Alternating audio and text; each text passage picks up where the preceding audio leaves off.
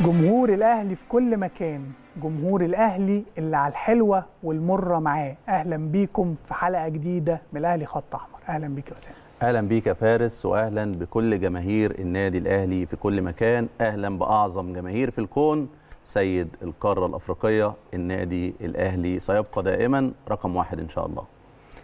وعشان النادي الأهلي رقم واحد فلازم نفتكر حاجة وما ننساهاش.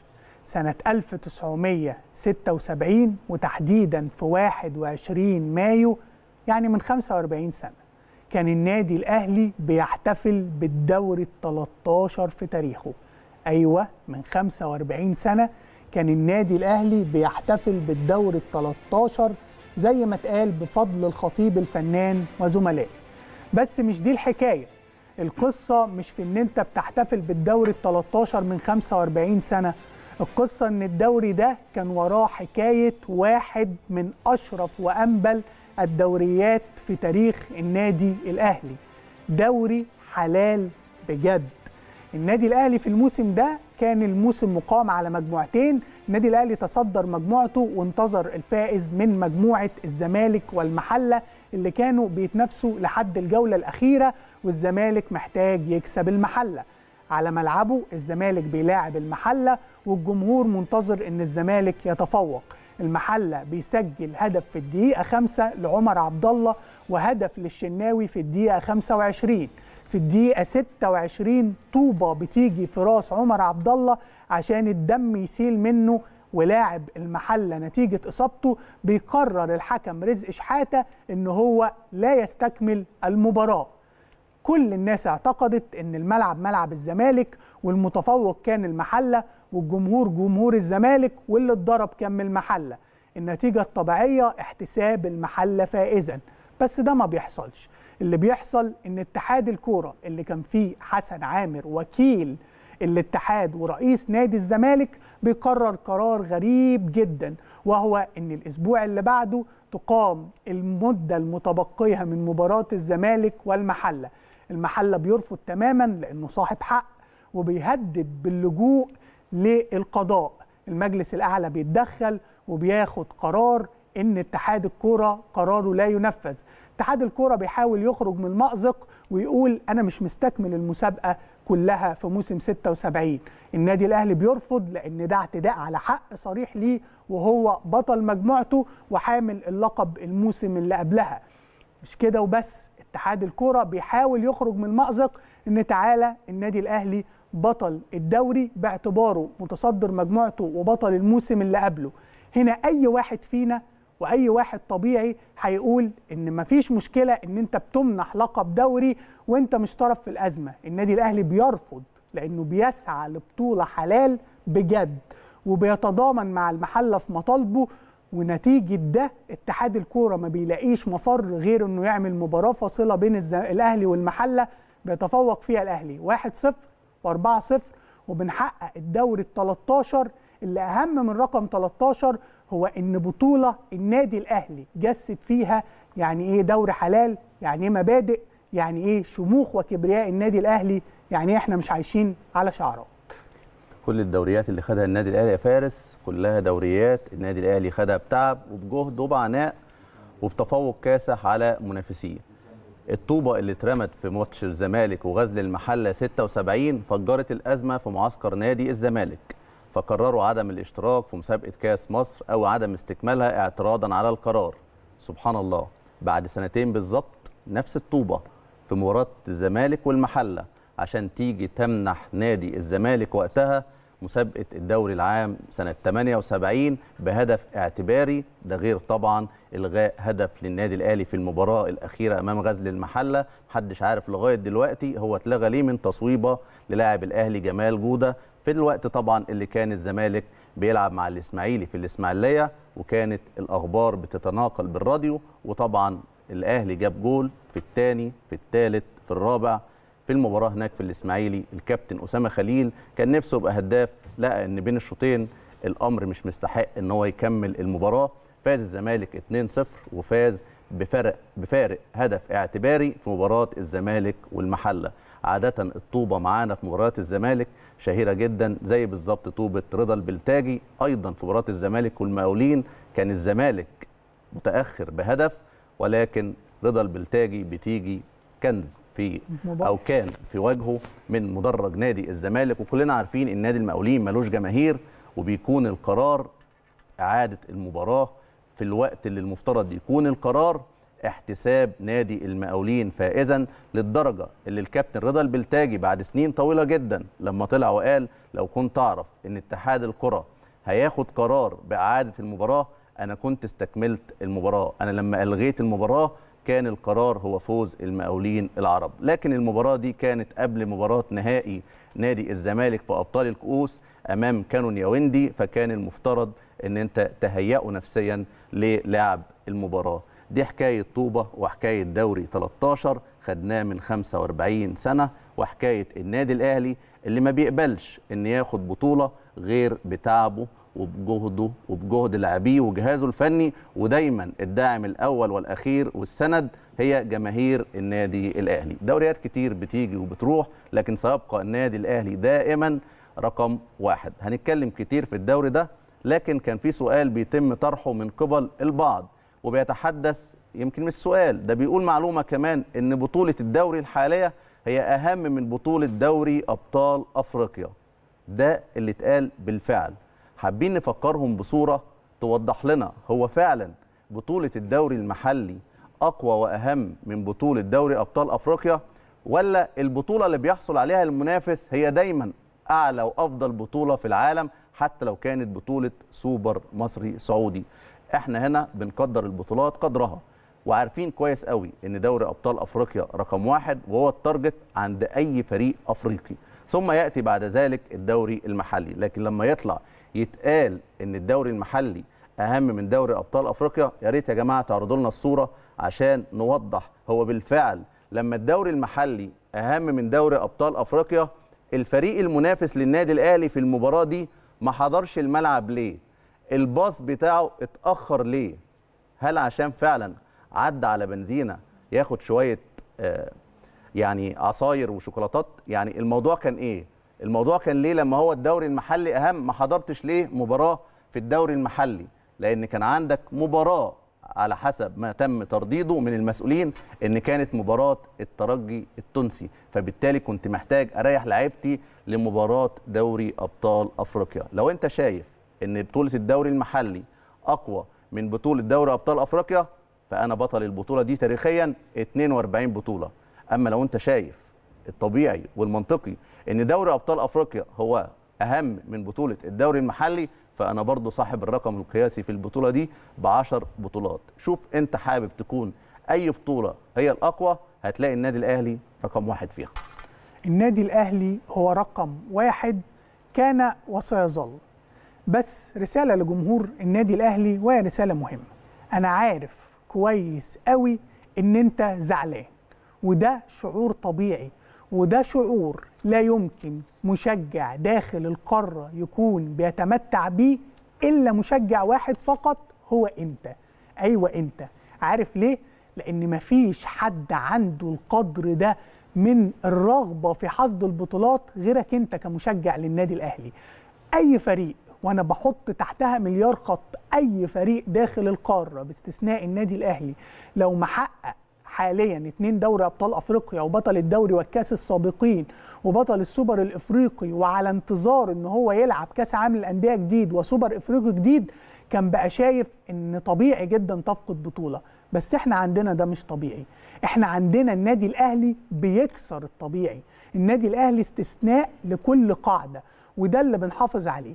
بس وأنت زعلان خليك فاكر إن الحتة الأدنى والأقل في طموحك هي سقف طموح المنافس اللي نفسه يشب عشان يطوله. انت متخيل انه نفسه يشب عشان يطول أقل حتة في طموحك؟ الفارق كبير. ازعل وحب ان فريقك دايما يكون بطل لأن إحنا ما نعرفش غير كلمة البطل بس افتكر أقل حتة في طموحك هي اعلى حتة في طموحك ولسه الدوري في الملعب يا فارس وده اللي اعتدناه في النادي الاهلي حتى لو كانت الأمور شبه مستحيلة. حتى لو كان خلاص الأمر ما بقاش بإيديك ولكن حتى هذه اللحظة رقميا الدوري في الملعب. لكن لو هنتكلم بجد الدوري خلصان من بدري. واللي كان شايف الصورة كان شايفها من بدري. وإحنا كنا شايفينها من بدري ومن بدري قوي واتكلمنا فيها من بدري قوي. لكن عندنا شيء أثرنا فيه بالتأكيد. عندنا سلبيات حصلت في الفريق بالتأكيد. هنستعرض كل ده لكن مش. مش هنفوت ابدا.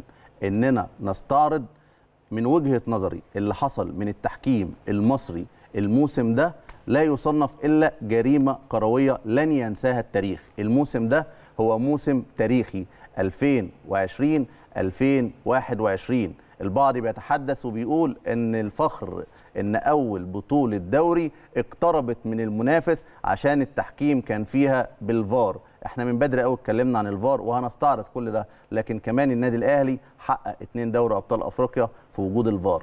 حقق برونزية كأس العالم للأندية في وجود الفار.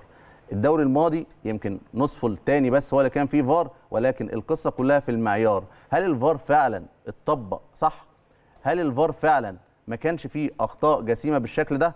لو عايز تقارن بين دوري 2020 و2021 ما ينفعش تقارن بأي دوري سابق. ليه؟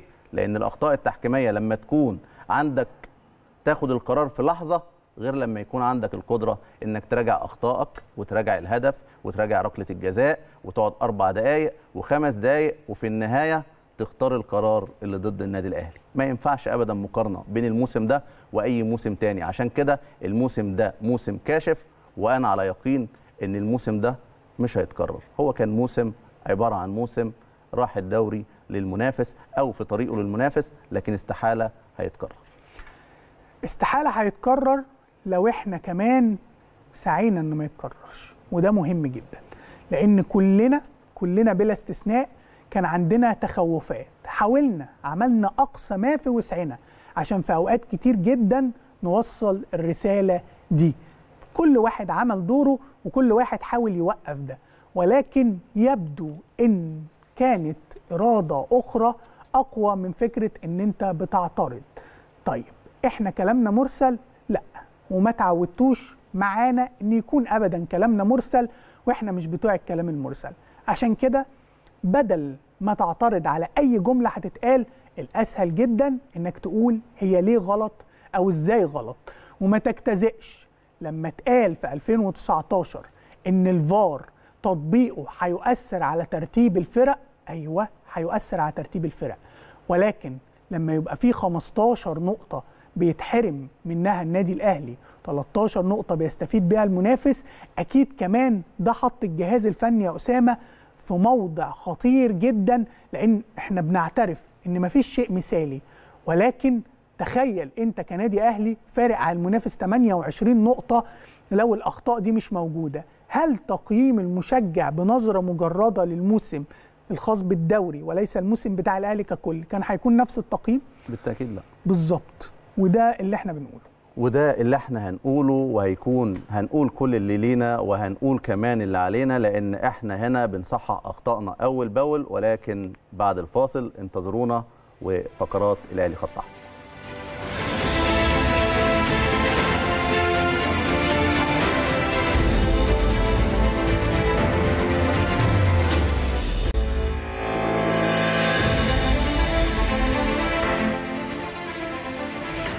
ورجعنا لكم وبرنامج الأهلي خط أحمر. طبعا زي ما أسامة زميلي قال لكم التحكيم له وقفة مهمة جدا معانا النهارده. ولكن عمرنا ما كنا بنحط راسنا في الرمل. وأي شيء سلبي بنشوفه والشيء الإيجابي بنشوفه. ختمنا قبل الفاصل بجملة مهمة جدا إن لو كان فارق النقاط الناتج عن أخطاء تحكيمية لم يتحقق كنت أنت هتشوف الموسم بشكل مغاير تماما. وكنت هتقول ساعتها إن كويس قوي وسط الضغوط وسط إن أنت بتحقق البطولات الإفريقية الموسمين على التوالي وفقا لحاجات كتيرة جدا فيها ضغط مباريات وعدد كبير جدا من المباريات ما فيش منافس لعبه كنت هتقول كويس قوي وإن ده فارق نقاط استثنائي ولكن مع ذلك إحنا بنقول لك إن في حاجات محتاجين نقف عندها. بس المهم زي ما قلنا لكم قصة الطوبة في البداية في حاجة مهمة جدا لازم تعرفوها. مستر مانويل جوزيه لما جه في ولايته الأولى حقق دوري أبطال أفريقيا اللي كان غايب عن النادي الأهلي على مدار سنين من 87 ما كانش النادي الأهلي حقق دوري أبطال أفريقيا. خسر الدوري في الجولة الأخيرة لصالح الإسماعيلي وكان في في مباراة الأهلي والإسماعيلي خطأ شهير جدا للحكم الأسباني اثر على نتيجة المباراة. إيه اللي حصل؟ مستر مانويل جوزيه مشي بعدها. طيب حققنا حاجة؟ لا. تراجعنا 100 خطوة لورا في أفريقيا خسرنا من رينجرز النيجيري برباعيه حققنا نتائج سلبية في الدوري موسمين بنخسر الدوري.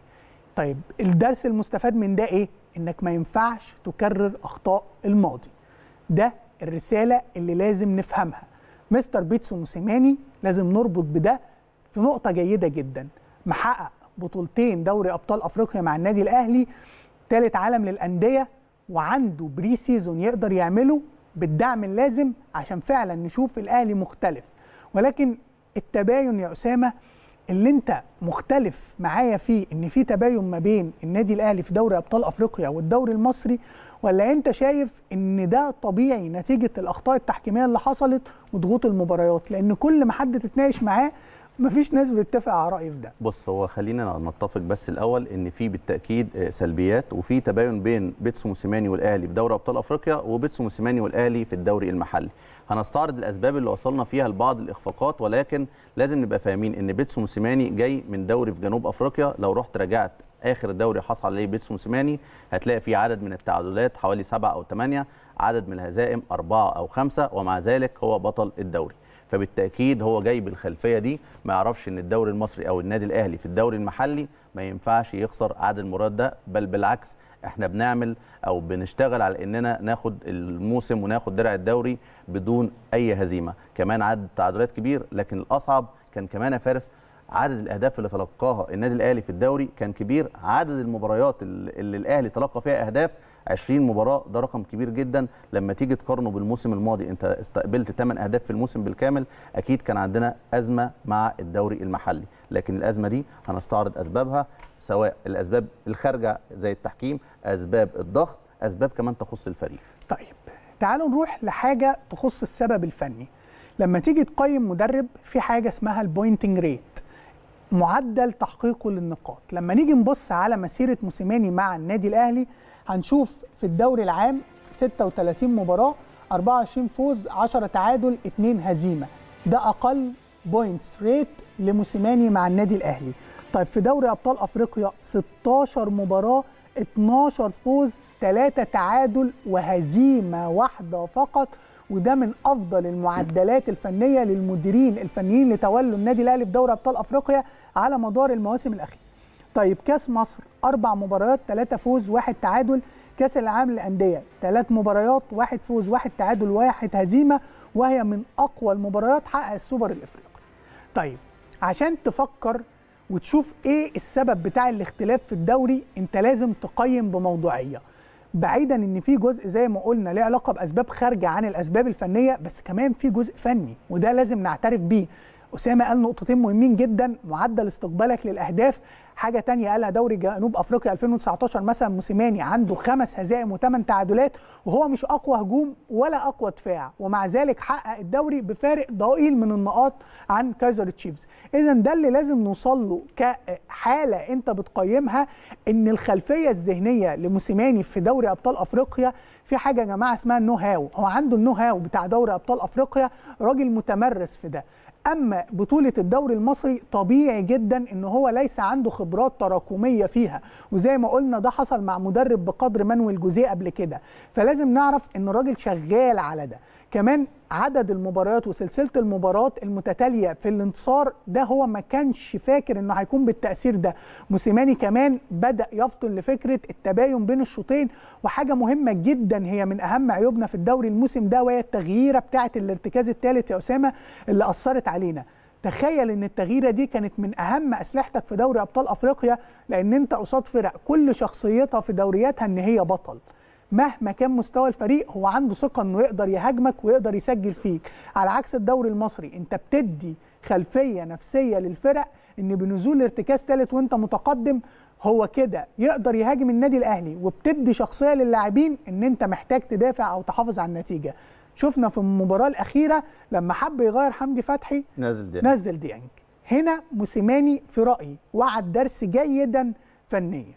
بالتأكيد يا فارس وطبعا زي ما اتكلمنا في فوارق كبيرة جدا بين الدوري ودوري أبطال أفريقيا أو البطولات الخارجية وأعتقد بيتسو موسيماني الموسم ده هيكرره بس بشكل أفضل من النواحي الدفاعية بشكل أفضل من عدد المباريات اللي هتقدر تحافظ فيها على نظافة شباكك بشكل أفضل حتى في فكرة التغيير وفكرة إنك عارف وأنت بتلعب في الدوري المصري مش محتاج في كل المباريات أو في معظم المباريات أو التغييرات إن أنت تجيب جول وتحافظ عليه. يمكن الاستهلاك البدني اللي تم اللاعبين خلال الموسم اللي لعبوا بعد العودة من كورونا وتحديدا من 6 أغسطس حتى مباراة المصري 74 مباراة لما تيجي تقارن بالمنافس اللي, اللي في طريقه للدوري لو فاز في المباراة من المباراتين هتلاقيه لعب 2 أو 63 مباراة ففرق 11 مباراة كبير جدا. لكن بيتسو موسيماني قدر لو انت بتقيمه بشكل أو بآخر ما تشوفش فقط الدوري لازم تشوف أيضا بطولاته. الراجل اللي قدر يحقق اثنين دوري أبطال أفريقيا اللي قدر يحقق كاس مصر اللي قدر يحقق برونزية كاس العالم للأندية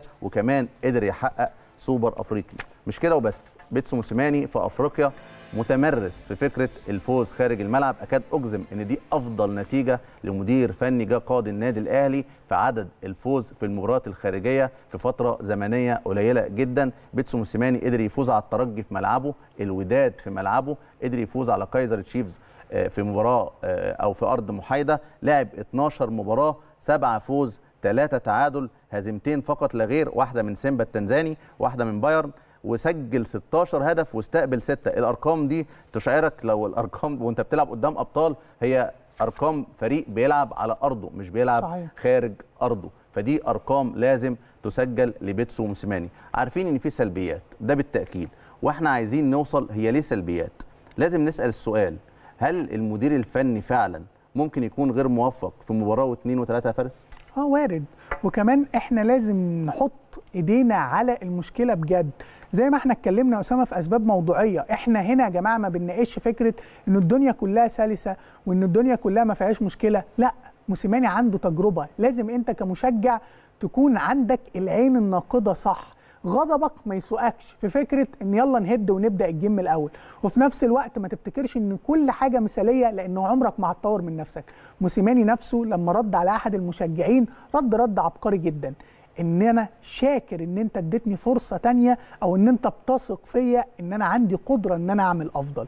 وده مهم إن أنا عندي قدرة إن أنا أعمل أفضل يبقى اللي أنا عملته ده هو مش أفضل حاجة عندي. خليني بقى أقول حاجة بخصوص موسم الدوري اللي لاننا يعني متأخرين عن المتصدر كتير أو بعض من جماهير النادي الأهلي شايفين إن إحنا قدمنا موسم سيء على مستوى الدوري. تعالوا نتكلم بهدوء. أنا كنت بسأل فارس بقول له هل المدير الفني ممكن في موسم أو في مسابقة يقدم مباراة أو اثنين أو ثلاثة يصاحبوا فيهم عدم توفيق؟ آه وارد جدا وبشوف ده طبيعي جدا. وهديكم مثال بسيط جدا مع نفس المدير الفني مع نفس اللاعبين دوري أبطال أفريقيا. كلنا شفنا مباراة الأهلي وفيتا كلوب في القاهرة. تقريبا 25 محاولة على المرمى كان فيها رعونة شديدة جدا وخرجنا بمباراة غير موفقة وتعادلنا 2 2 وكان مستقبلنا في البطولة في مشكلة خاصة إن أنت اتغلبت كمان في مباراة سيئة فنيا لما لعبت بثلاثه ارتكاز أمام سيمبا التنزاني بره ملعبك 1-0 فأصبح عندك أيضا مشكلة فنية ومشكلة كمان في النتائج. ولما رحت تلعب مع المريخ السوداني تقريبا كلنا شفنا الشوط الأول مش نسخة النادي الأهلي ولا أقل نسخة للنادي الأهلي آخر خمس سنين وكنا ممكن نتعرض لهزيمة بثلاثية لولا ركلة الجزاء اللي خرجت بره المرمى من لاعب المريخ السوداني. فقدمنا ثلاث مباريات كل شيء كان سيء فيها فنيا آه، توفيق من اللاعبين مش موجود. كمان رعونه الجهاز الفني وتغييراته لدرجة إن إحنا لعبنا ماتش سيمبا في بعض التغييرات بأربعة midfielder في حاجة ما شفتهاش قبل كده. فبالتالي كان في حالة عدم توفيق للمدير الفني واللاعبين وصاحبه كمان نتائج سيئة. لكن عملنا إيه في النهاية؟ قدرنا نحقق البطولة.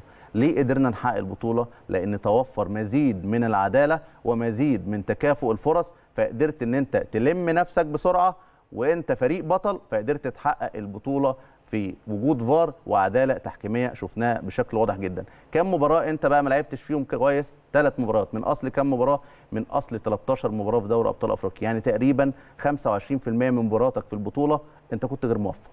لما أجي أقول إن أنا في بيراميدز والبنك الأهلي والجونة والمباريات اللي كل وسموحة المباريات اللي كلنا عارفينها برغم إن إحنا ادينا في مباراه سموحة أفضل من أفضل الأداءات اللي قدمناها في الدوري كله. حالفنا فيه أو صادفنا عدم توفيق. واللعيبة كانت في رعونة وكان في استهتار وده كله موجود في كرة القدم. في النهاية أربع مباريات من 32 مباراة لعبتهم. هل ده طبيعي إنك تحمل اللاعبين والجهاز الفني فقدان الموسم بره الصورة الكاملة اللي إحنا هنتكلم فيها؟ الماراثون بتاع الدوري اتحسم في المباريات الأخيرة. أنت عارف الأهلي لعب كام مباراة بعد انتهاء الايقاف الدوري 15 6 حتى 20 8 أو 21 8 الشهرين دولت النادي الأهلي لعب 16 مباراة. 16 مباراة ما بين دوري أبطال أفريقيا والدوري المحلي.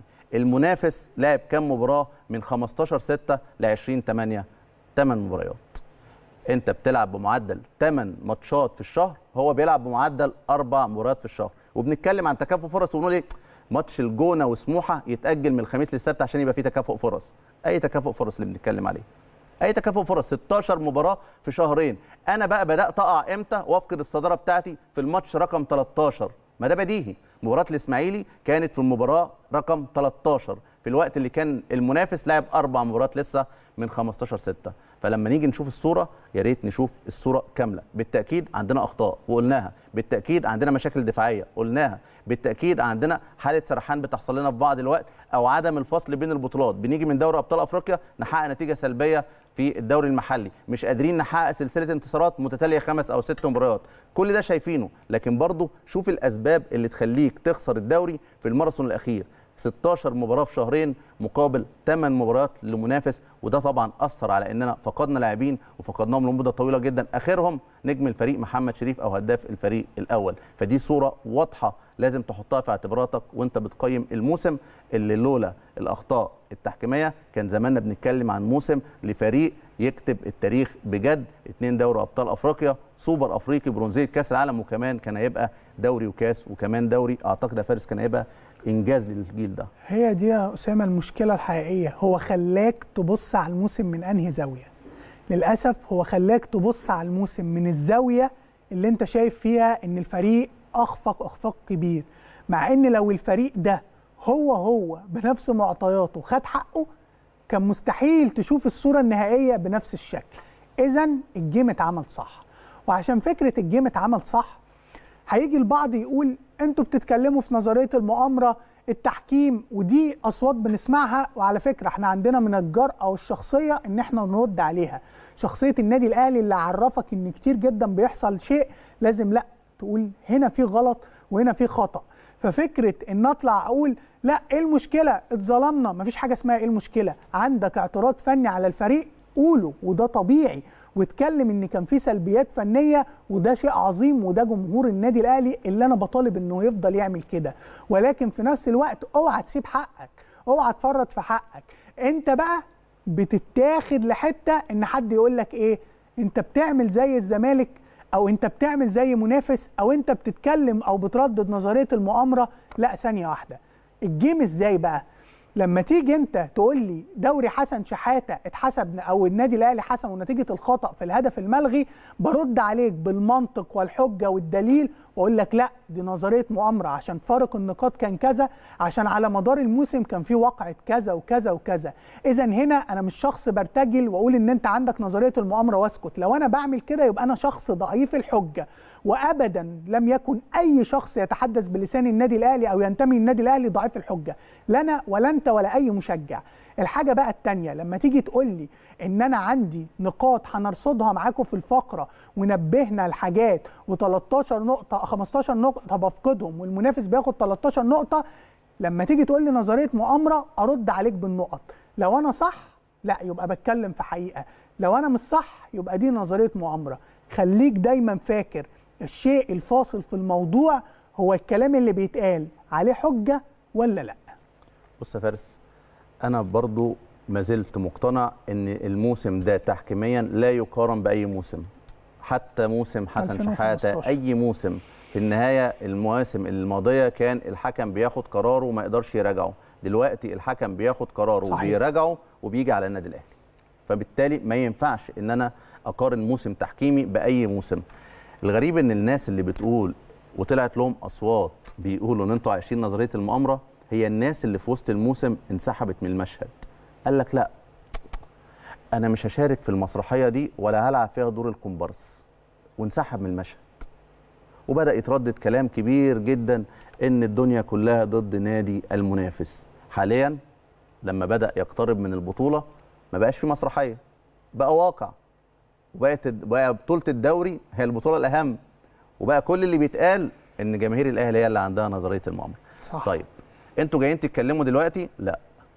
إحنا البرنامج ده في فقرة ثابتة من أول ما بدينا البرنامج كانت بدأناها في الصندوق ومع الموسم الجديد بقت VAR room.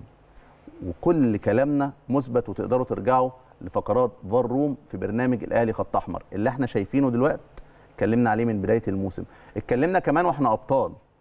يعني إحنا اتكلمنا في الدوري الماضي وعن أخطاء الفار واللي بيحصل من الفار في وجود النادي الأهلي على صدارة جدول الدوري وفي وجوده بطل. يعني مش الفكرة إننا بنتكلم عن الأخطاء التحكيمية مركزنا في الدوري. لا إحنا بطبيعة الحال أصلا كده كده بيكون مركزنا في الدوري الأول إلا بعض المواسم الاستثنائية اللي بتيجي كل 10 سنين سنة أو سنتين.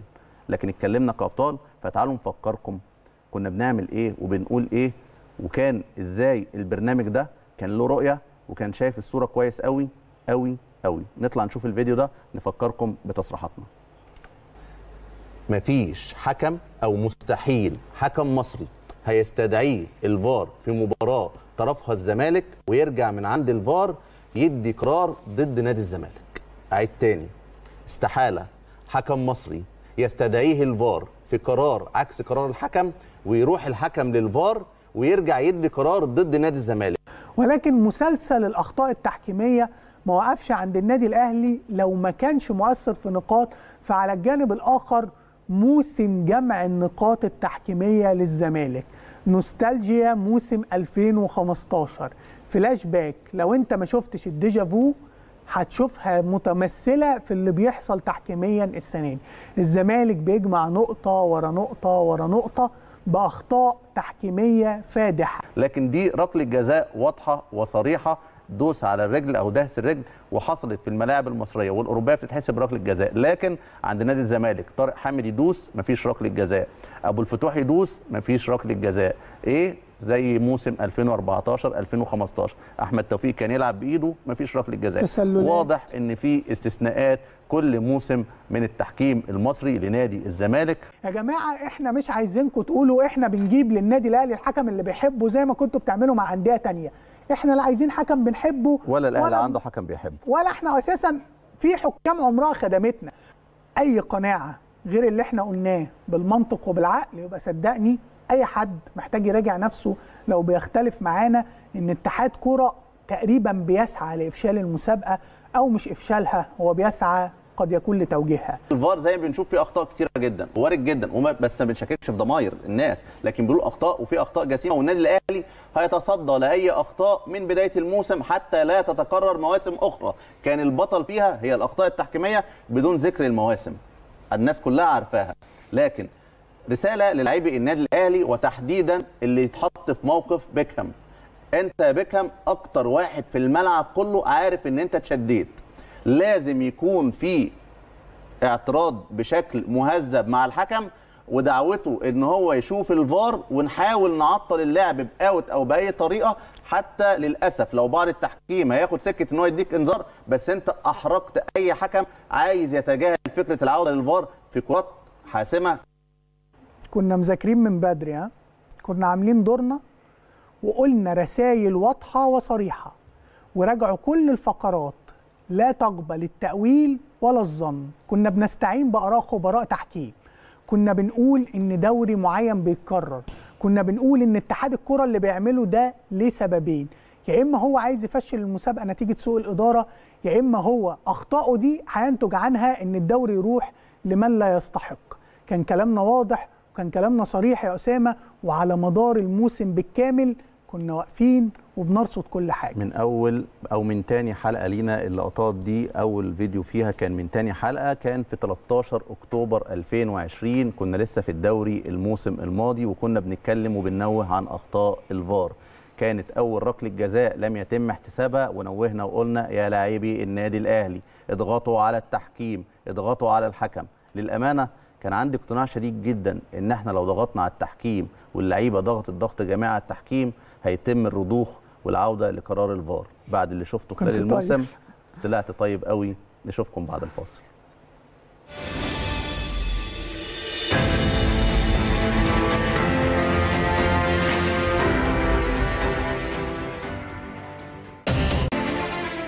طيب رجعنا لكم واللي إحنا وعدينكم بيه إن ال timeline هيمشي معاكم عشان تشوفوا إزاي ال game اتعمل. 15 نقطة. رجعنا لكم فيهم بالنقطة. هنحسبها معاكم. البعض هيقول إن خلاص أو الدوري مصيره اتحسن ولكن مهم جدا إن إحنا نوثق اللي اتقال على مدار الموسم وإن نوثق عشان لما يجي حد بعد 20 سنة أو لأ خليهم بعد 45 سنة زي الدوري ال 13 بتاع النادي الأهلي. ويشوف إزاي النادي الأهلي خد الدوري ال لا، لا، 13 لا, لا. عشان لما يجي الأخطاء التحكيمية دي تتكرر تاني بعد سبع مواسم نبقى بنقارن يعني كل. سبعة كل سبع مواسم. زي ما بنقارن 2014 2015 2020 2021 2027 2028 إذا لم يحالفنا التوفيق في إننا نقفل العشرينات يعني. أنا مش هاخد التوجه بتاعك لأنه يخوفني. لأن إن شاء الله اللي حصل السنة دي أنا معاك زي ما قلت في البداية. إن شاء الله مش هيتكرر تاني. لعله كان ليه أسبابه. طيب نروح بقى لبداية الأخطاء التحكيمية اللي من بداية الموسم وإحنا كنا بنقول عليها ورصدينها. أول خطأ كان مباراة وادي دجلة اللعبة الشهيرة بتاعة بيكم برأي التحكيم إحنا مش هنقول أي رأي يخصنا رأي التحكيم كان إيه في لعبة بيكم نطلع ونشوف إزاي النادي الأهلي فقد نقطتين نتيجة التعادل 0 0 الأهلي هنا واضح جدا من لاعب دجلة وهو بيشد لاعب الأهلي وهتلاقوا اللاعب حتى يعني مش بيقع للأمام لو هو بيمثل ليه بيقع لورا. معناها إن الشد يعني جابه عكس اتجاهه فبالتالي هنا طبعا هنا الخطأ وداخل منطقة الجزاء كانت لابد الخطأ موجود وركله الجزاء يعني. والفار فين يا كابتن؟ دي حسب ما هو الفار ما شافش. خلاص بقى. هات الحسابة واحسب. الخطأ موجود وركله الجزاء موجودة بس الفار الفار ما بيشوفش أو الفار مش موجود. دي اللي أنا كنت طيب فيها وبقول له يا بيكهام روح اضغط على الحكم. يا نهار أبيض كنت طيب كنت طيب. جدا والله. لو الفرقة كلها ضغطت على الحكم الحكم ما كانش هيروح يشوف الفار. لأن هنقول الشواهد اللي أكبر من فكرة خطأ تحكيمي اللي إحنا بنقول مستحيل موسم زي ده يتكرر بموسم تاني من ناحية الاخطاء أيوة كده. التحكيمية عشان موجود تقنية فار. لا أنا بتكلم عن لي سبع سنين يا ما راجل. ما هو أصلا عندي قناعات إن الدوري بقى هيجي بعد سبع سنين بنفس الطريقة. يعني هنشوف لها حل يعني. لكن خلينا في الدوري الحالي ده طبعا كان أول خطأ تحكيمي. تعالوا كمان نطلع نشوف أول خطا تاني خطأ تحكيمي بس عايزك بقى تمسك النقطتين الأولانيين بتوع الدجلة عشان هنشوف الخطأ التحكيمي بتاع البنك الأهلي. نشوف الفيديو. أنا سألته عن ال عن ال عن الهدف ال- ال- ال- اللي, تم إلغائه آه، والراجل قال لي إن هو متفاجئ ومش مصدق إن الحكم لغى الجول. بيقول إن الكورة جول 100% بيقول إن إن إن إن the forward يعني عنده المهاجم اللي هو في الحالة دي أيمن أشرف عنده كل الحق إن هو يروح لل- للكورة. أنا عن نفسي كنت أنا شايفها مش جول. هو بيقول إن هو دخل في argument مع الان شيرر الأسبوع اللي فات في آه، في في, ال- في الاستوديو في إنجلترا في هدف برضه مماثل على ماجواير. و والان شيرر كان بيقول إن هي فاول وهو قال إن هي مش فاول فهو بيقول إن الجول بتاع النادي الأهلي جول 100% وهو متفاجئ إن آه، آه، الكرة أو الحكم آه، راح للفي ار ولغى آه، ولغى الجول. خبير تحكيمي صديق لميدو آه، بيتكلم عن فكرة إن هو متفاجئ إن إزاي ده اتحسب فاول على أيمن أشرف. طبعا سيبك من رأي الكابتن أحمد حسام ميدو هو بيقول إن هي شايفها فاول. ده موضوع يخصه وآراءه اللي دايما لما بيجيب خبير تحكيمي بيكتشف إن اراءه عكس آراء خبراء التحكيم في اللعبات المتعلقة بمصلحة الفريق المنافس اللي هو بينتمي ليه. على فكرة ما كانش ده الخبير التحكيمي الوحيد اللي قال إن كرة أيمن أشرف جول. ولا اللقطة دي كانت اللقطة الوحيدة في الموسم لأنها اتكررت في دوريات أوروبية كتير وكلنا تابعناها واتحسبت هدف بشكل طبيعي جدا. كابتن جمال غندور اندهش وقال إزاي تم استدعاء ميدو سلامة من قبل عمرو الشناوي. ولما نقول من قبل عمرو الشناوي يبقى عشان تكون الأمور واضحة معاك هتلاقي الخبير التحكيمي الوحيد في مصر اللي قال إن الكرة دي فاول هو أحمد الشناوي. وبالتالي إحنا بنعتبر شهادته مجروحة وده حقنا تماما لأن ابنه اللي كان على الفار وابنه اللي ارتكب الخطأ وابنه اللي تسبب في إهدار نقطتين من النادي الأهلي في مباراة البنك الأهلي. لكن يا فارس كان عندنا خبير تحكيمي آخر جزائري. كان شايف إن الكرة مش هدف لكن كان له رأي تاني في المباراة دي.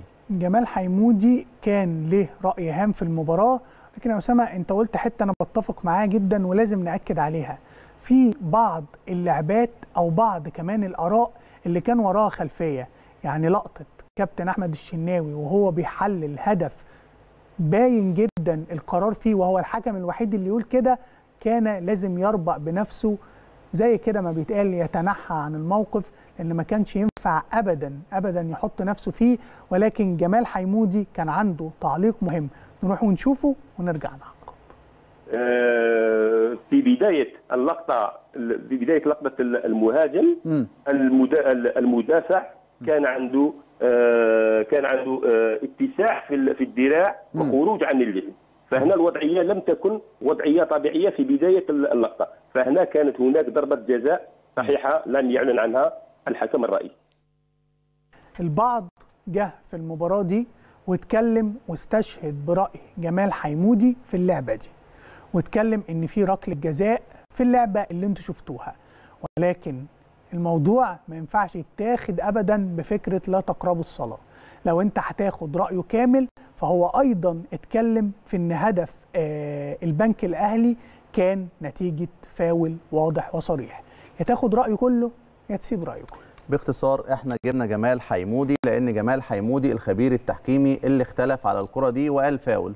فقلنا خلاص لو أنت عايز تاخد رأي الخبير التحكيمي ده لنا ركلة جزاء ولنا نقطتين إحنا هنا بنتكلم بآراء خبراء التحكيم وبنتكلم في الأخطاء المؤثرة في نتيجة المباراة لأن نتيجة المباراة دي كانت صفر صفر زي نتيجة الأهلي ووادي دجلة اللي غاب عنه في المباراة دي 12 لاعب ومع ذلك التحكيم ما سابش الأهلي في حاله. نروح للمباراة الثالثة وهي مباراة الأهلي وبيراميدز وأول ست نقاط خسرهم النادي الأهلي في الموسم ده كان بمساعدة التحكيم. نشوف تعقيب خبراء التحكيم على الأخطاء الفادحة المتكررة في مباراة الأهلي وبيراميدز آه، هنا طبعا. إحنا عندنا في كورة إن معمولة بالعرض في آه. آه، رؤية جهاد كانت ممتازة آه. هنا ده في آه، لعيب النادي الأهلي ناطط مع آه. آه، شريف شريف. إكرامي حارس الاثنين رايحين منافسة على المنافسه على الكرة آه. الكرة وقعت من إيد آه، شريف شريف. آه. ده تنافس عادي جدا تنافس عادي جدا وأنا أبرر الكرة دي أنا لو حكم مباراة آه. أكمل اللعب بسبب بسيط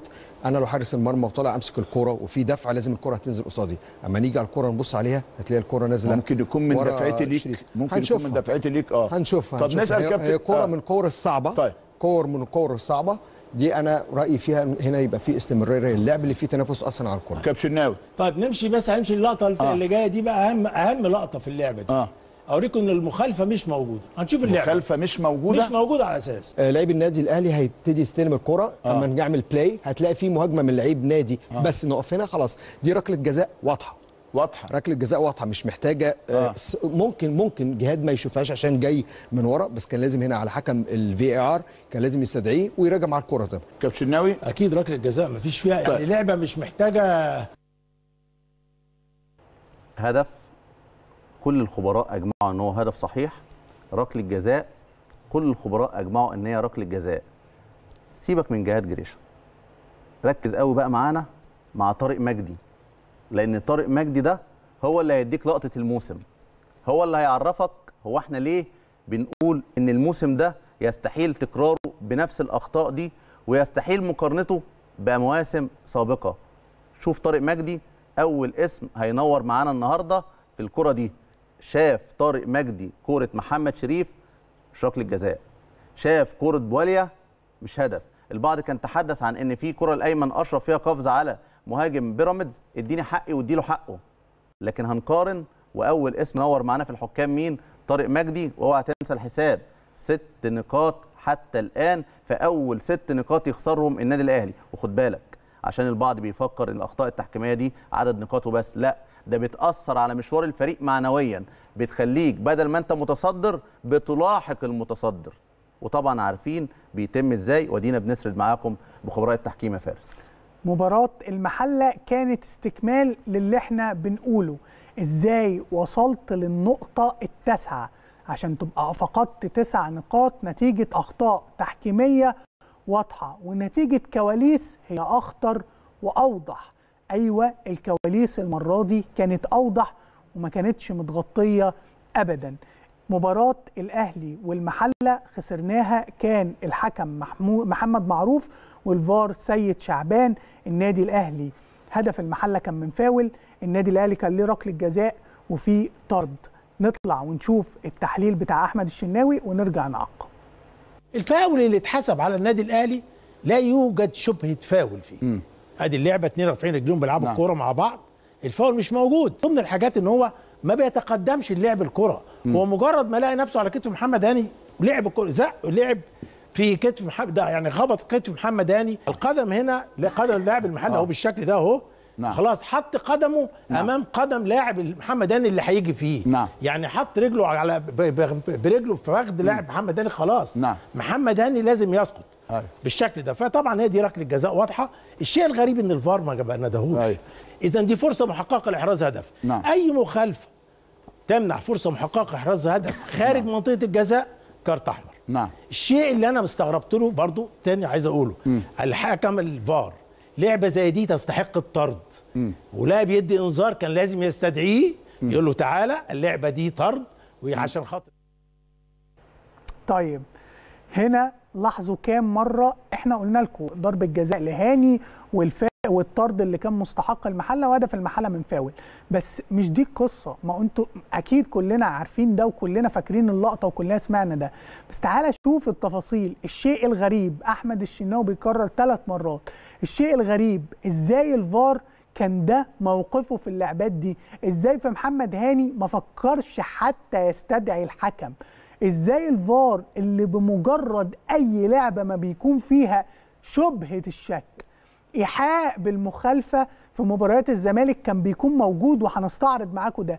إزاي الفار كان الشيء الغريب اللي كنا وقتها فاكرينه غريب بس بعد كده عرفنا إنه مش شيء غريب خالص. قلت لكم أنا كنت طيب لما كنت بطالب لعيبة النادي الأهلي إنها تضغط على التحكيم عشان يروح أو تجبر حكم الفار إن هو يستدعيه. كنت طيب لما جيت في وقت من الأوقات بعد مباراة الزمالك ووادي دجلة اللي اتلعبت على ملعب السلام واللي انتهت 0 0 وأهدر فيها عبد الله جمعة ركلة جزاء لما قلت يا ريت كل حكام الفار زي سيد شعبان. ليه قلت كده لما كنت طيب؟ قلت كده لأن سيد شعبان في مباراة الزمالك وادي دجلة حسب ركلة جزاء بالمناسبه صحيحة للزمالك لكن مفيش حد في الملعب شافها إلا سيد شعبان. حتى لاعبي نادي الزمالك أصلا ما اعترضوش على الكرة وكملوا الهجمة بشكل طبيعي وإذا بنا بنتفاجأ في استدعاء للفار. استدعاء للفار إزاي؟ كرة ركنية حسام عرفات بيلعبها بدماغه نزلت على إيديه جت من الزاوية اللي ورا الجول. قلنا برافو برافو سيد شعبان. وأنا وأنا طيب قلت يا ريت سيد شعبان يجي لنا النموذج ده في مباريات النادي الأهلي. تخيلوا سيد شعبان اللي شاف الكورة اللي ما حدش شافها حتى لعيبة نادي الزمالك هو سيد شعبان اللي تغاضى عن فكرة استدعاء محمد معروف لطرد مدافع غزل المحلة في الدقيقة الأولى من الشوط الثاني محمد فتح الله. استدعاء محمد معروف لركلة جزاء صحيحة لمحمد هاني رفض إن هو يستدعيه. تخيلوا شاف إيه وما شافش إيه. يبقى هنا لازم نقول إيه؟ أيوان سيد شعبان الاسم الثاني اللي بينور معانا الحكام. ركز معانا. كده تسع نقاط طارق مجدي وسيد شعبان. دول طبعا أنا مش هتكلم عن محمد معروف اللي في نفس الكورة دي ما است- ما استناش أصلا حكم فار إدى طرد لما مباراة الزمالك والمقاولين بس كان مدافع المقاولين. مباراة تانية طبعا اتحاد وأعتقد مقصة إدى ركلة جزاء نفس الكورة. مش هنتكلم في ده لكن إحنا هنتكلم في سيد شعبان اللي بينور معانا النهارده في جنب أخوه طارق مجدي في غرفة الفار. صح كده؟ أنا بحملك مسؤولية سيد شعبان خلاص لأن لأن أنت أنا كنت طيب. أنا كنت طيب. لأن أنت كنت طيب. نروح نكمل على النقط نروح نكمل نقط وعندنا مباراة الزمالك. والإسماعيلي. هم خلاص حافظوا تسع نقط وعندنا طارق مجدي وسيد شعبان منورين. نروح نشوف الأخطاء التحكيمية اللي حصلت في المباراة رقم 13 في الشهرين اللي تم حسم فيهم الدوري مباراة النادي الأهلي والإسماعيلي عشان عندنا مفارقة غريبة هنتكلم فيها بس نشوف آراء خبراء التحكيم. بص يا كابتن سيف هي طبعا هي الكرة الجدل اللي مصر كلها بتتكلم فيها دلوقتي هل الكرة بتاعت ايجاييه دي ركلة جزاء ولا مش ركلة جزاء؟ حضرتك شايف إيه؟ أنا شايف الكرة دي في ركلة جزاء لأن في خطأ تم قبل الكرة ما تخرج أرض الملعب. الكرة دي من وجهة نظر حضرتك ضربة جزاء ركلة جزاء في احتكاك تم قبل قبل الكرة ما تطلع بره أرض الملعب وحكم الفيديو كان لازم ينادي حكم المباراة يبصوا مع بعض على الاثنين. بص محمد الحنفي هينور بس مش دلوقتي. هو حكم الساحة. محمود عاشور حكم الفار. في اعداد كتيرة جدا وضحت إن محمد الحنفي شايف الكرة كويس قوي شايف اندفاع باهر المحمدي داخل طاير ومكمل طيران وتقريبا الطيران مسموح بيه في منطقة الجزاء لما يكون لاعبي النادي الأهلي هم المهاجمين. وشاف ده وما احتسبش حاجة.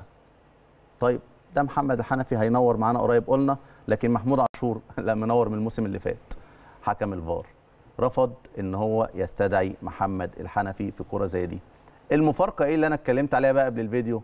إن محمود عاشور اتعين حكم الساحة للمباراة التالية لمباراة الأهلي والإسماعيلي وهي مباراة الأهلي وإنبي. مفارقة. مفارقة غريبة جدا. أنت ضيعت على النادي الأهلي نقطتين خليت النادي الأهلي بقى مركز تاني. تعالى بقى مكافأة ليك حكم مباراة الأهلي وإنبي. محمود عاشور قلنا ان منور من إمتى؟ من الموسم الماضي. طيب. 11 محمود نقطه عاشور 11 نقطة. هو منور في حاجة تانية تناولناها هنا في الأهلي خط أحمر. وده برضه عشان نثبت لكم إزاي الحكم بيكون متناقض في قراراته. لعبة رامي ربيعة اللي كان فيها. لمسة آه. يد بالظبط لعبة رامي ربيعة اللي كان فيها لمسة يد حسبها ركلة جزاء. قصادها مباراة الزمالك لا لا والمصري. لا ما تعديش القصة. احكي القصة كويس. هو كان حكم ساحة. حسبها ركلة جزاء. الفار جابه قال له ما جاتش في ايده يا فندم. رفض كلام الفار. قال لا. وأنا راجل قاري اللائحة وقاري القانون زي ما أسامة عايز يتكى شوية في الحكاية بتاعه اللعبة.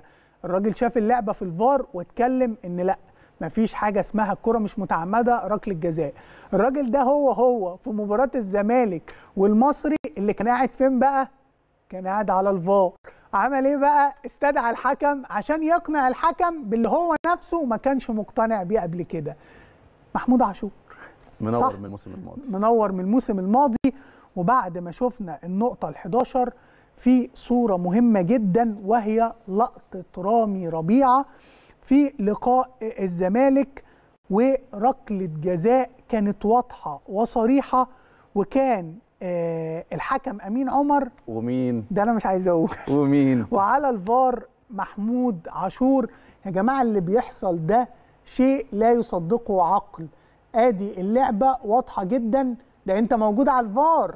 وانت الراجل اللي الفار عندك أحيانا بتكون الصورة, الصورة, واضحة الصورة دي من الملعب لكن الصورة اللي كانت. قبلها كانت الصورة من البث طب ممكن التلفزيوني. نرجع للصورة بتاعت البث آه، مهمة التلفزيوني جداً دي. الصورة أيوة. بتاعت البث التلفزيوني كمان واضحة جدا ومستحيل وضع تشريحي لمحمود عاشور لازم يفهمه مستحيل رامي ربيعة يثبت رجله بالشكل ده عارف محمود عاشور قال إيه قال إيه وأتحداه إن هو يكذبني قال له الصورة مش واضحة كمل لعب لأن الكرة دي رامي ربيعة وقع حوالي دقيقتين وقع حوالي دقيقتين وكان الحكم أمين عمر.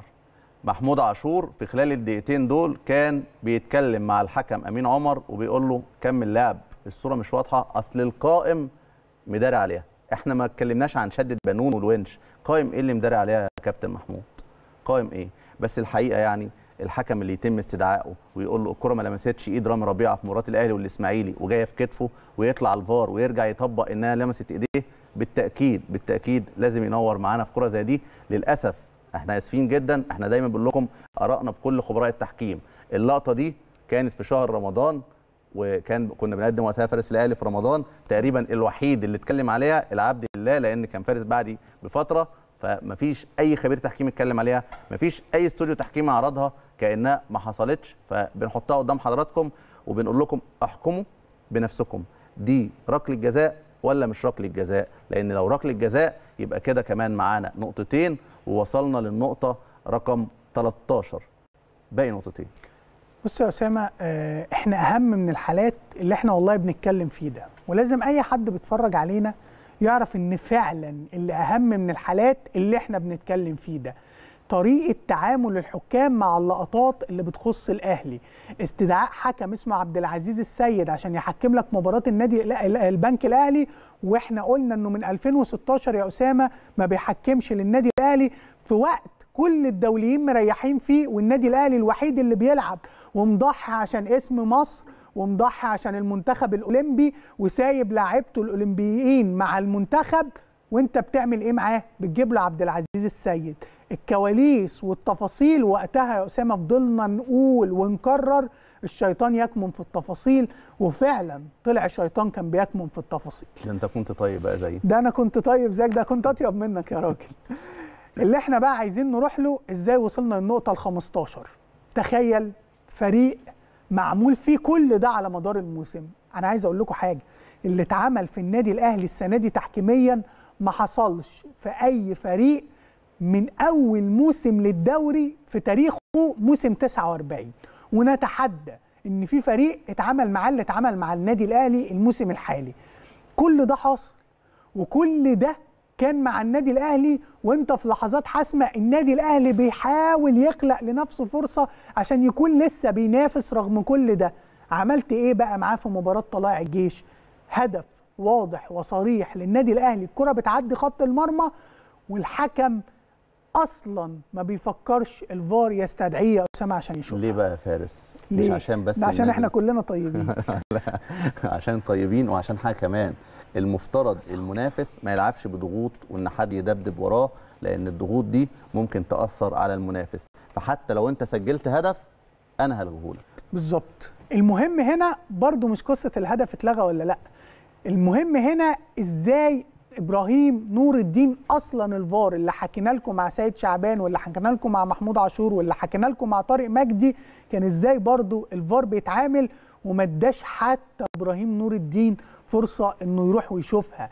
يا جماعة للمرة المليون لو دي نظرية مؤامرة بنتحدى أي حد كائنا من كان خبرته التحكيمية. لو بينتمي لأي فريق يجي يقعد معانا ويقول لنا اللي أنتوا بتقولوه ده غلط وساعتها هنسأله غلط ليه. بس نطلع بقى ونشوف رضا البلتاجي حكمنا الشهير كان بيقول إيه عن لقطة طلائع الجيش. لكن أنا عندي واقف قدام حاجة. ان المدافع اللي بيطلع الكوره نفسه كانت إحدى قدميه تقريبا على الخط. اسلام إسلام جمال. آه إحدى قدميه. الرجل الثانية مفروده أنا بحلل بقى أيوه. بتحلل ما تراه قدامك آه. على الصورة. آه. آه الرجل الثانية مفسو- م- م- مفروده داخل المرمى. تديني إحساس إن دي أقرب لهدف. بس ده اللي أنا بقدر أقوله. تاني. تديني إحساس. أيوه. لكن مش قرار. مفهوم. يعني أنا أنا تحليلي إن قدم المدافع على الخط وهي متنية. تمام. الساق الأخرى بكامل امتدادها داخل المرمى. فده يديني إحساس إنها هدف. ده يديني إحساس إن هي هدف. الغريب إن الكرة دي كانت بالإحساس مع إن قناعة أي حد ورجل إسلام جمال الجزء اللي كان باين منها كان على الخط وبقية رجله بالكامل جوه الخط ونفسي أعرف إحنا بنتكلم في إيه أو بنحس إزاي. ولكن كابتن رضا البلتاجي قال إحساسي وقناعتي إن هي هدف. طب تعالوا نشوف اللي ما كانش حاسس إن هي هدف وتعالوا نشوف تفسيره في إحساسه يا أسامة. أعتقد عندك كلام كتير في النقطة دي. بص هو اللي اختلف معاه. عشان نكون أمناء أنت عارف إحنا هنا دايما بنتعامل مع فكرة إن إحنا مش بنداري حاجة ولا بنداري لقطات ولا بيجي خبير التحكيم يقعد يستنى لقطات لما أشوفها أحكم عليها ويجي تاني يوم أصلا أنا ما شفتهاش فمش هقدر أحكم عليها ويجي تالت يوم ورابع يوم وما بيشوفهاش عشان يحكم عليها. إحنا هنا بنقول اللي لينا واللي علينا ما بنقولش وجهات نظر. ليه؟ لأننا واثقين من موقفنا. أعتقد الأمور واضحة بشكل كبير جدا كمان في الأخطاء اللي بتحصل من الحكام لما بيتغير لون التيشيرت. الكابتن سمير عثمان اختلف مع الكابتن رضا البلتاجي. فمن الأمانة الإعلامية قلنا نعرض لكم رأي الكابتن سمير عثمان ونتناقش بعد الفيديو. أي صورة هنشوفها في الميديا في أي حتة هتجيب لك الصورة من زاوية التسلل مش هتبقى صادقة. الصورة الوحيدة اللي تجيبها اللي تجيبها اللي هي ورا الجول. طب نشوف الكرة دي. الكره اتعملت وبعد كده لعيب نادي طلع الجيش طلعها من جوه طلعها من بره. مفيش ولا واحد. انت عاوز ساحر عشان يقول لك الكرة بالمنظر دي جوه ولا بره. بس عندنا 3 دي دي اللي موجودة في القناة هنا. زي ما إحنا شايفين لغاية دلوقتي انت ما تقدرش تقول الكره جوه ولا بره. شايف هنا؟ إحنا قلنا إيه؟ لازم الكرة بالكامل تبقى جوه. عشان كده القا... القائم القائم والعارضه لازم يبقوا على نفس السمك بالمنظر ده هل إحنا شايفين الكرة بالكامل؟ شايفينها بالكامل؟ لا في ثلاث أرباعها. يبقى الكرة دي ليست هدف. فطالما طبعا بالشكل اللي إحنا شايفينه التقنية اللي موجودة في القناة. ركزوا في الكلام اللي قاله الكابتن سمير عثمان عشان إحنا هنا في البرنامج بنثق في آرائه وبنستعين بيه هو الكابتن أحمد الشناوي والكابتن جمال غندور وكل الحكام. كل الاحترام بنحترمهم جميعا. لكن هو قال جملة واضحة جدا إن هو بيعفي نفسه من المسؤولية. قال التقنية اللي اتعملت هنا في القناة. ال- تبعا للتقنية اللي اتعملت في القناة دي أنا بقول رأيي إنها مش جول. يعني إيه؟ يعني أنا لو جبت لك صورة أو تقنية وقدمتها لك الكرة لامسه الخط هتقول مش جول. فبالتالي ده مش رأي الكابتن سمير عثمان أو بيتناقض مع فني. فكرة إن هو بيقول لو ساحر مش هيقدر يقول الكرة دي جول. لكن الحقيقة الكرة من وجهة نظرنا مش محتاجة أي ساحر. التفسير اللي قاله الكابتن رضا البلتاجي إن رجل إسلام جا جا إسلام جمال اليمين على الخط وهي متنية ورجله الشمال بالتأكيد هتكون داخل المرمى هيخليني أطرح سؤال. هيخليني أطرح سؤال. لو ياسر إبراهيم كان لابس تيشيرت لونه فاتح كنا هنختلف كده ولا كان هيقول المنطقي إن الكرة تبقى جول؟ لكن الكابتن سمير عثمان نفسه أدان حكم الفار وقال يا راجل ثلاث ثواني ثلاث ثواني ده أنت في كرات بتقعد فيها أربع دقائق وخمس دقائق ده إحنا في لقطات في مباريات تانية قعدوا فيها سبع دقائق وخدوا قرار غلط. فأنت هنا في كرة النادي الأهلي زي ما قال أيمن أشرف كده الفار لينا 10 ثواني علينا 10 دقائق لما تجيب جول كنادي أهلي نقعد أربع خمس دقائق نراجعه. يمكن كان في واحد تسلل من أول امبارح وقت التدريبات لو بنلعب في ملعب السلام. لكن تجيب أنت جول ثلاث ثواني العب. يجي لك ضربة جزاء جونيور اجاييه 40 ثانية بالظبط العب. ومفيش مراجعة ولا توقف ضربة المرمى ولا أي حاجة. فكل ده كل ده مش بيديك تصور إن القرار اللي طالع قرار فيه شبهة تعمد. هل ده مش بيديك تصور إن القرار اللي طالع قرار فيه شبهه تعمد مين حكم الفيديو؟ محمود بسيوني. خليه ينور جنب اخواته. الحكم محمود بسيوني. اللي ما خدش ثلاث دقايق. اللي على راي كابتن سيد عبد الحفيظ ده انت لو بتتاوب هتاخد وقت أطول من كده. فاكر في حلقة قديمة لما قلت لك الحكام في مباريات الأهلي في غرفة الفار بيبقوا مستعجلين؟ آه أنتوا وراكم حاجة؟ صح. أنتوا وراكوا حاجة بس إحنا برضو كنا طيبين وده فعلا اللي أنا بتفق معاك فيه. ولكن عايز أقول حاجة فيما يخص كابتن سمير عثمان واللقطة دي. بعيدا عن التقنية اللي اتعرضت لك. أنا عندي قناعة تامة إن لو مش بالتقنية اللي اتعرضت له فهو ما ينفعش يخالفها. أنا فعلا جاي بقول لك دي تقنية 3 دي بتقول لك إن الكورة عدت. طبيعي مش هتختلف معاها ومش هتقول لأ التقنية غلط. ولكن أنا عندي ثقة تامة إن لو هو كان هيبدي رأي بعيدا عن التقنية أنا واثق تماما بل متأكد كان هيقول جول. إن هو كان هيقول جول. آه عندنا كمان في تاخد التقنية فارس في ماتش الزمالك وبيراميدز. ما اتعملتش. بس ده طبعا ما نقدرش نلوم عليه الكابتن سمير عثمان لأن في النهاية التقنية اللي اتعملت دي 3 دي. ولو بتقنية 3 دي إحنا هنا اتعملت تقنية 3 دي الكرة بقت جول. لكن إحنا شعارنا دايما أو طريقتنا دايما بنستبعد الاستوديو التحكيمي من رأينا في قناة النادي الأهلي لأن البعض هيفهم إن هو منحاز برغم إن أحيانا كتير الاستوديو التحكيمي بيطلع بيقول حاجات ضد النادي الأهلي. لكن بنستبعده عشان القيل والقال. دي كانت أخطاء مؤثرة بشكل كبير جدا. لو اتكلمنا على الأقل على الأقل على الأقل النادي الأهلي له 11 نقطة. طيب هتقول لي طب ضربة الجزاء أنت ضمنت إنها تتسجل هدف؟ هقول لك صدق صح. هقول لك حاجة تانية خالص. كل ركلات الجزاء اللي كانت في ماتش وادي دجلة بيراميدز المحلة ماتش إيه تاني؟ آه، البنك الأهلي اللي قال عليها جمال حيمودي كل ركلات الجزاء دي بره. اللعيبة بتاعتنا هتطلعها عند الركنية هتعتبرها ماتش ودي وضربة جزاء غير صحيحة فيطلعوها عند الركنية. لأن لو ماتش رسمي وضربة جزاء غير صحيحة هتتسجل. لكن هنعتبر إن ركلات الجزاء دي كلها بره. إحنا لنا ثلاث أهداف ثلاث أهداف. اتسجلوا واتلغوا. إحنا تعبنا واللعيبة تعبت وهزت الشباك واتلغوا. هدف بيراميدز هدف البنك الأهلي هدف طلائع الجيش. لو استبعدت حتى هدف طلائع الجيش فهدف بيراميدز. وهدف البنك الأهلي يمنحك أربع نقاط يخليك حاليا أنت متصدر الدوري وباقي لك ماتشين تكسبهم تاخد الدوري. شفتوا الأمور سهلة وبسيطة إزاي؟ ده أنا عايز أقول لك كمان إن إحنا مش هنتكلم على الاخطاء التحكيمية للزمالك دلوقتي لأن عايزين ناخد يا فارس الأخطاء بقى اللي هي غير, غير مؤثرة, مؤثرة. عشان نوضح الصورة. لأن الصورة بقى في الأخطاء الغير مؤثرة بتوضح إيه؟ إن النادي الأهلي في بعض المباريات قدر يتغلب على المنافس والتحكيم والفار. وفي بعض المباريات ما قدرش يتغلب على المنافس لما كان معاه التحكيم. وفي آخر الموسم اللي هي مسابقة الدوري العام معروفة بمسابقة النفس الطويل اكتشفنا إن التحكيم المصري كان نفسه طويل وقدر ينافس النادي الأهلي لنهاية الموسم. بص يا أسامة النقطة دي مهمة جدا. لسبب. اولا هي بتعكس اللي إحنا بنقوله طول الوقت وهي الكواليس والتفاصيل. اتكلمنا في 15 نقطة. تخيل في غيرهم. أيوه تخيل في غيرهم. لولا تفوقك في المباراة ما كنتش هتعملهم. جمهور بقى الأهلي لأنه هو نفسه دايما طول الوقت النادي الأهلي يتفوق كان بيجي يقول لك إيه؟ رغم الأخطاء التحكيمية أعمل إيه؟ اكسب. رغم الأخطاء التحكيمية تفوق. ما هو أنت already عملت ده في 8 مباريات. اللي إحنا هنستعرضه عملت ده في 8 مباريات بس مستحيل طول الخط يا أسامة تعمل ده. مفيش فريق في العالم يقدر يعمل ده. بس قبل ما نستعرضه إحنا استعرضنا المؤثر.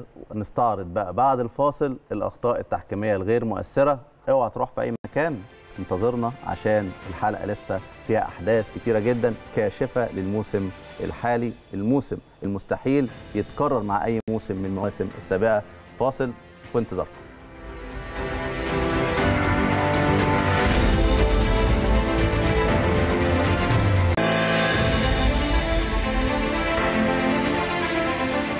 أكيد وأنت بتتفرج معانا هتقول مش كفاية 15 نقطة النادي الاهلي اتحرم منهم لسه كمان هتعرضوا لقطات غير مؤثرة. أيوه لسه هنعرض لقطات غير مؤثرة لأن زي ما بنقول اللقطات الغير مؤثرة دي هتثبت إن النادي الأهلي تفوق كام مرة على أخطاء تحكيمية كانت ممكن تحرمه من نقاط أخرى.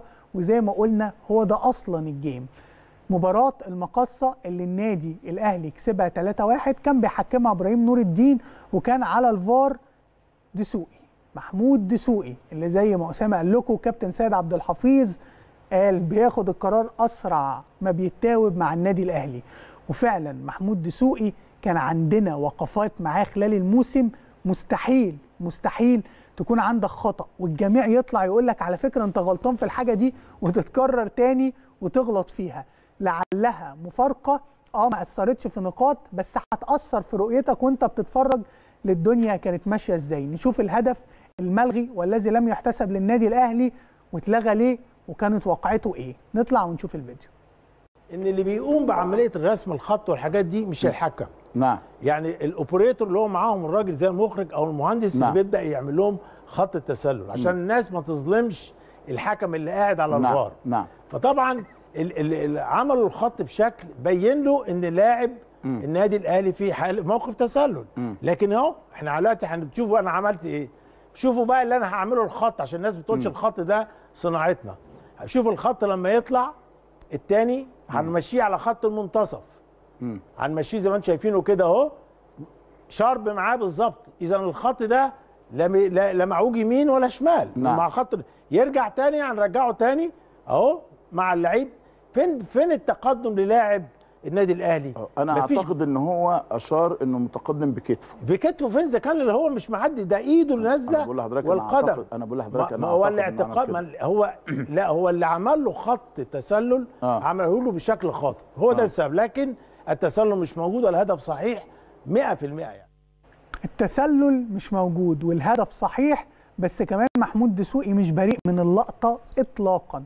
لأن محمود دسوقي هو اللي مسؤول إن هو يحط الأوبريتور النقاط بتاعه كل لاعب لاعب الخصم ولاعب آه، اللي سجل الهدف عشان خاطر يبدأ يحدد من من خلالها ويحط الخط. بس الأهم إن في اللعبة الواضحة والصريحة دي اللي محمود دسوقي كان عنده خطأ فيها في تحديد النقاط الخاصة بكلا اللاعبين ممكن تعتقد لوهلة إن هي الواقعة الأولى وإن القرار ده كان خطأ بالصدفة. محمود دسوقي منور منور. محمود دسوقي لو ادينا له عنوان تخصص إلغاء أهداف للنادي الأهلي ده هيخلينا نفكر هو ليه محمود دسوقي ما خدش وقت في هدف الأهلي أو هدف ياسر إبراهيم في مرمى طلائع الجيش؟ ده إذا كان الأهداف الصحيحة اللي مش محتاجة غير إنك تحدد آخر نقطة في جسم اللاعب المهاجم وجسم المدافع وتاخد خط ما حسبتهاش. ده مش مرة. لا تعالوا نشوفه كمان في مباراة سيراميكا كليوباترا بنفس الطريقة بنفس الخطأ بيحرم النادي الأهلي من هدف محقق. ليه؟ لأن محمود دسوقي المنور تخصص إلغاء أهداف للنادي الأهلي. نشوف الفيديو. أدي قدم اللاعب هناك ورا. آه. أنا شايف إن يعني لاعب النادي الأهلي بعيد تماما عن التسلل طلع. هي مش دي اللي موجودة عنده؟ لا مش هو مش عندوش البيرو ده. هم عندهم تقنية تانية.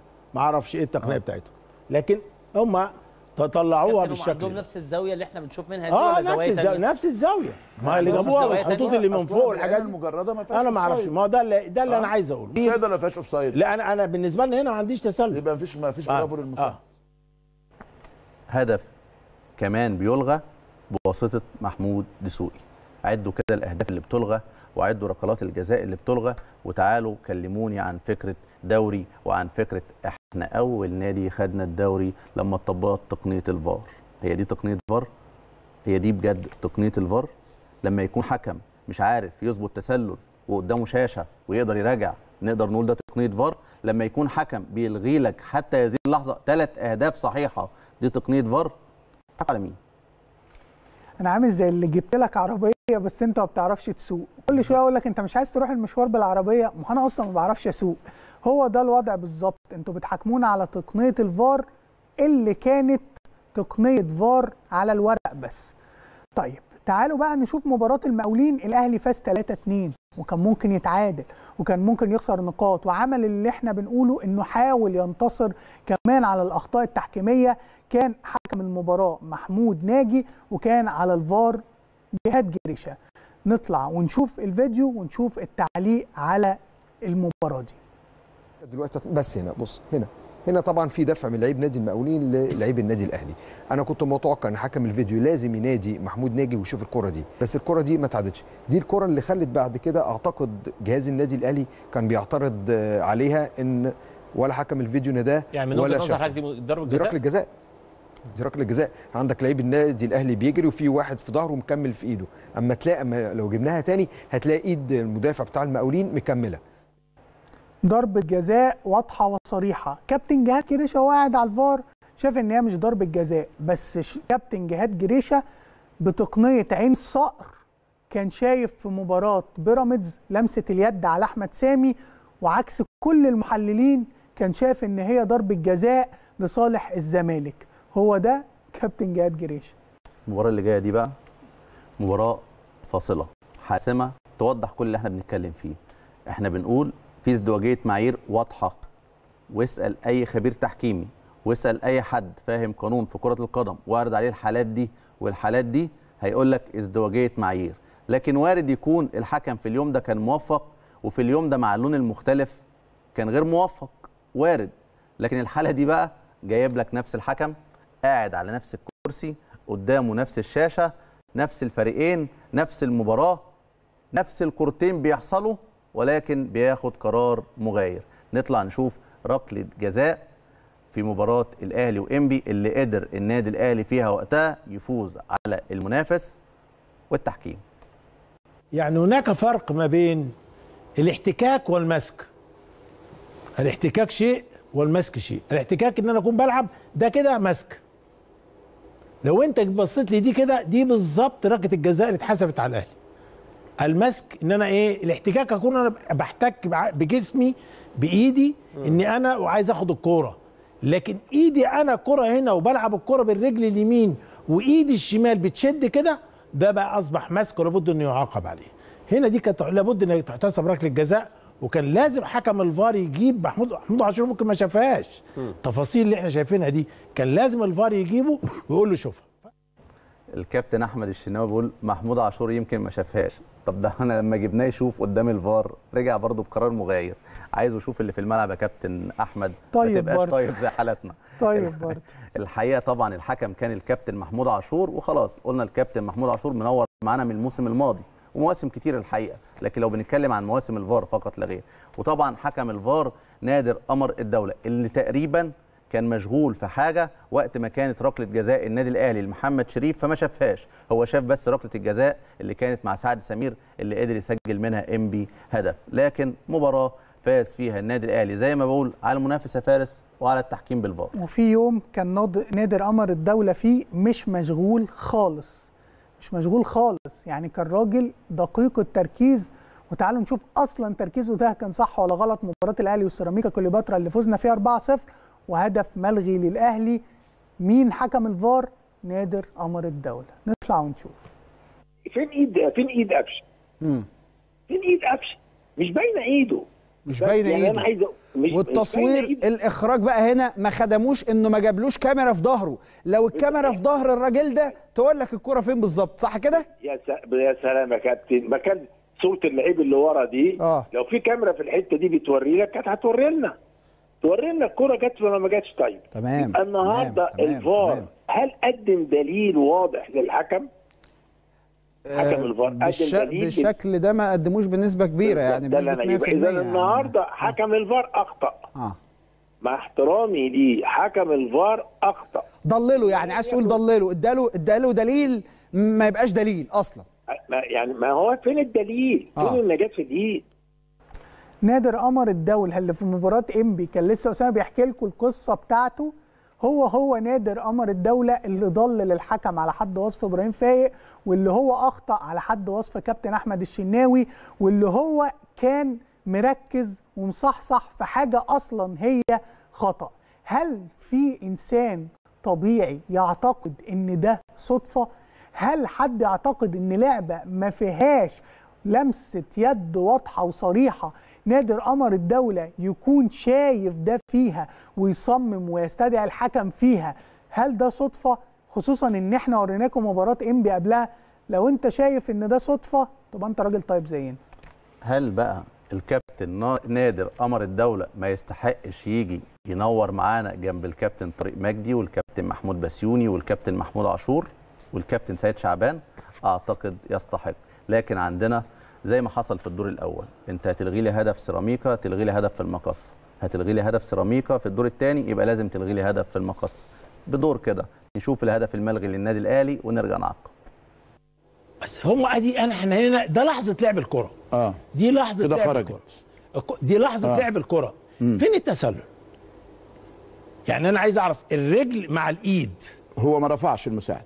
ما رفعش ما رفعش المساعد. آه. فين التسلل؟ والخط بعد كده إحنا في آخر يعني هجيب لكم الخط اللي هم عملوه. آه. أنا مش شايف فيه تسلل. ده الخط بتاع حضرتك ده؟ لحظة ده بتاعنا إحنا آه، هنا. نعم. دي لحظة لعب الكرة. نعم. هي تسلل يحتسب بلحظة لعب الكرة نعم. من زميله. هنا التسلل مش موجود. ويعني أنا مش شايف يعني حتى بس الخط كابتن العمودي برضو اس- اسمح لي. يعني آه. موجود طارق مجدي وموجود عاطف حسين. آه. ده, خط, الفار. بقى. بص ده آه. خط الفار. آه. آه. وادي خط الفار. قول لي فين التسلل يا كابتن؟ أعتقد الكابتن طارق مجدي هو الأيقونة بتاعت النور هنا. الأيقونة منور تماما. 16 يعني فولت. مش بس إن هو ما بيحسبش ركلات جزاء مش بس ما بيحسبش أهداف على حج بحجة الاحتكاك حتى الأهداف الصحيحة في فكرة إن هو يحدد خط التسلل مش عاوز يحسبها وبيلغي هدف صحيح للنادي الأهلي.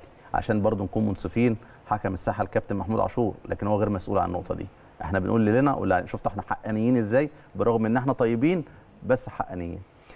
طبعا آه، إحنا عرضنا مفارقات توضح قد إيه كان في تناقض وازدواجية. ولكن من المفارقات دي كمان كان اللقطة بتاعه كابتن إبراهيم نور الدين وسرعة كابتن محمد الصباحي في اتخاذ القرار. أنا بشوف يا أسامة إن اللقطة دي عارف أنت لما تبقى عامل حاجة سيناريو كاتبه حلو قوي فلازم في النهاية تكون عامل مشهد كده بيبقى ال master scene بتاع القصة. بشوف سرعة محمد صباحي وهو بيحسب لصالح الزمالك عشان الفار يرجعه وابراهيم نور الدين وهو ما بيحسبش بيشيلها للفار يشوف هيقول له إيه وما قاليش. خلاص الفار ما قاليش أنا هعمل إيه؟ بشوف إن ده ال master scene بتاع الدوري. التناقض في اللحظة دي هو اللي بيلخص كل اللي إحنا قلناه ده. ده دي لحظة من اللحظات. بس بما إنك اتكلمت عن الكابتن محمود بسيوني الكابتن محمود بسيوني في مباراة الأهلي وبيراميدز. كان حريص كل الحرص إن فريق بيراميدز يلعب 11 لاعب أمام النادي الأهلي. دونجا طالع برجليه وبيضرب حمدي فتحي في لعبة تستحق الطرد. الحكم محمد عادل ادى إنذار فقط لا غير. عدالة السماء تغلبت على التحكيم هنا. هنا بقى مش الأهلي تغلب على المنافس والتحكيم لا ده عدالة السماء اللي تغلبت على التحكيم والفار هنا في مباراة الأهلي وبيراميدز لأن دونجا بعدها بثلاث دقائق بالكتير كان عامل فاول يستحق الإنذار الثاني فبدل ما كان هيطرد طرد مباشر محمود بسيوني رفض إن هو يطرد طرد مباشر عشان المباراة تمشي 11 قصاد 11 فتيجي عدالة السماء وتهور دونجا إن هو يعمل فاول تاني يستحق عليه الإنذار الثاني فيطرد. شفتوا قد إيه الحالات دي لما بنحط عليها spot كده بيبان إن الأمور مستحيل تكون صدفة.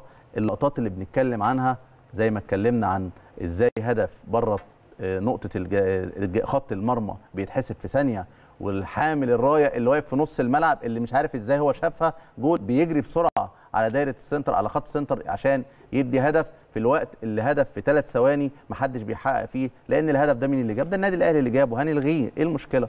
إيه المشكلة؟ هنلغي الهدف. لكن في لقطة تانية برضو مهمة مع مين؟ مع الكابتن طارق مجدي اللي إحنا قلنا إيه في مباراة الإسماعيلي تجاهل ركله جزاء مع محمد حنفي برضو لجونيور أجاييه. لا نفس طارق مجدي في مباراة سيراميكا مع المنافس استوحى ركله جزاء واستدعى محمد الحنفي. محمد الحنفي له وقعة مع مباراة سموحة والزمالك لما كان في طارق حامد بيدهس رجل آه، جناح عبد الكريم وادي جناح. سموحة في الدقيقة 7 فتم استدعاء الحكم محمد الحنفي. شاف من زاوية من زاوية ثانية آه في دهس مفيش ضربة جزاء. ليه؟ أصل الدهس المرة دي في موسم 2020 2021 زي ما حضراتكم شايفين مباح داخل منطقة الجزاء لنادي الزمالك. زي ما قلت من بداية الموسم إن لمسة يد أحمد توفيق في موسم 2014 2015 كانت مباحة. ما إحنا لازم ندي موسم كل موسم استثناء معين. فنفس محمد الحنفي رجع شاف بعينيه الفار وخد قرار عكس الفار في ماتش سيراميكا مستحيل ياخد إيه قرار عكس الفار وده اللي إحنا قلناه فين؟ في 13 اكتوبر 2020 مشاهد بتوضح قد إيه في مشاكل وفي ازدواجية واضحة جدا جدا للمعايير خدوا بالكم إحنا هنا لا بنتعرض لسمعة حكم ولا لشخصية حكم. إحنا هنا بننتقد فقط لا غير مستوى حكم. لو الحكم اللي إحنا جبنا سيرته وجبنا أخطائه بآراء خبراء التحكيم راضي أمام نفسه إن هو يقعد يسمع الفقرة دي ويشوف إن هو كان موفق أو كان بينفذ أو بيطبق قانون لأن الكابتن محمد الحنفي في مباراة الزمالك وسيراميكا رفض يطبق القانون. لأن أبو جبل لما طلع ضرب الكرة بإيديه يستحق طرد بس هو اداها فرصة جت جول وأعتقد كان أسعد واحد في الملعب إنها جت جول الكابتن محمد الحنفي. ليه؟ جول و11 قصاد 11 هيسهل تعويضه زي ما حصل. لكن طرد وتعادل و10 قصاد 11 الأمور هتبقى صعبة. والجول بيلغي الطرد بس ما طبقش القانون في إيه؟ ورجعوا لخبراء التحكيم إن الكابتن محمد الحنفي كان يجب أن يمنح إنذار عقوبة إدارية لأبو جبل ولكن الكابتن محمد الحنفي رفض تطبيق القانون وجايين تقولوا أول موسم بيتطبق فيه فار أنتم أبطال الدوري مبروك عليكم الدوري. أسامة أنا كنت فاكر فعلا إن أنت بتقول جملة أنا طيب بهزار لا أنت طيب فعلا. أنت تعتقد إن كل الحكام اللي عملوا ده هو مستني يقعد يراجع نفسه ويقيم اداؤه يعني انت شايف محمود دسوقي في قراراته فضل ياخد مباريات بعدها. جهاد جريشة في مباراة بيراميدز يطلع رئيس الاتحاد نفسه بعدها بعد خطأ لصالح الزمالك في لقطة يد أحمد سامي ويقول إيه؟ ويقول جهاد جريشة مش موقوف. محمود عاشور بياخد مباريات بعدها زي ما انت قلت تاني يوم كان بيحكم للنادي الأهلي في مباراة إنبي. هل تعتقد إن دي حكام مستنية تقييمها؟ طب على الاقل. تستنى أقاربها يقيموها. يعني على الأقل تبقى شايف ادائك بالشكل ده هتكون راضي عنه. اسامه صدقني هتكون راضي عنه. إيه الفايدة اللي انت خدتها؟ مش فاهم. تضحك ليه؟ مش عشان انت مش فاهم. آه بعيدا عن كل اللي فاهم. قلناه انت عايز تعمل مش فاهم. بعيدا عن كل اللي قلناه فيما يخص النادي الأهلي تخيل على طريقة كله ضرب ضرب. يعني ما كانش كفاية اللي حصل مع النادي الأهلي لا كان المنافس بيستفيد رسميا بآراء خبراء التحكيم ب 13 نقطة نتيجة أخطاء تحكيمية نعرض الجدول مش هنستعرض معاكم المباريات قبل كده. آه الجدول موجود اللي حابب يرجع له في أي لقطة بخبراء التحكيم يجي لنا عشان خاطر نفهمه ونقول له كان رأي خبير التحكيم إيه بس هي مش هتفرق لأن فاكر لما اتقال إحنا ما بنعرفش ننام وإحنا محسوب لنا قرار مش من حقنا يا راجل يا أعتقد طيب. الناس طلعت بتنام في سابع نومة لأن مش النوم بس بتاع القرارات لا نوم حاجات كتير جدا. هو اللي زي ما قلنا كان حدد وجهة الدوري الموسم الحالي. بص عشان بس نكون أمناء نادي الزمالك اتظلم هذا الموسم. المفاجأة في مباراة أسوان ما اتحسبلوش ركلة جزاء. دي المباراة الوحيدة اللي التحكيم كان فيها على نادي الزمالك. ما دون ذلك فإليكم كان في تقنية فار. كان في تقنية فار. فإليكم عدد النقاط. 13 نقطة لو قلنا النقطتين اللي اتخصموا من نادي الزمالك مباراه أسوان يعني 11 نقطة. ولكن لو تتذكروا متابعين وأنا أعتقد إن أنتم متابعين بدقة لبرنامج الأهلي خط أحمر قلنا هنا لما جبنا تصريح الكابتن أيمن يونس وقال أنا مش معايا فلوس وعلينا 30 مليون جنيه عشان نقيد اللاعبين وكلمت الأستاذ عمرو الجنايني قلت له مش هدفع ولا جنيه. فالأستاذ عمرو الجنايني قال له ابعت القايمة هأيدها لك. وده طبعا مش أول موسم يتم قيد اللاعبين والزمالك عليه ديون ولا أول موسم الزمالك ياخد تراخيص يشارك بيها في دوري أبطال أفريقيا وهو عليه مديونيات ده اعتراف حتى المسؤولين في نادي الزمالك. مش دي القضية خالص. القضية إن إحنا طلعنا هنا قلنا إحنا مع دعم اتحاد الكرة لنادي الزمالك ومع الاستثناءات كلها لنادي الزمالك وإحنا بنقف جنب نادي الزمالك بس ما حدش يجي يقول اتحاد الكرة أهلاوي. إحنا في الحلقة دي بنقول ال 11 نقطة اللي خدهم نادي الزمالك إحنا معاهم. وكل موسم ادوهم 11 نقطة بأخطاء تحكيمية. ما عندناش أدنى مشكلة ودعم مننا لنادي الزمالك. لكن المشكلة الحقيقية اللي عندنا ما تاخدش أي نقطة من حقنا دون وجه حق. لو استمر التحكيم بالشكل ده لأي مواسم أخرى فبالتأكيد بيعرض التحكيم المصري لهزة كبيرة جدا. وأنا رافض كل اللي بيطلع يقول كلام منمق عن إن التحكيم المصري بخير لأن التحكيم المصري والله العظيم. كده بخير يا أستاذ. ما بخير. هو نشوفكم بعد الفاصل.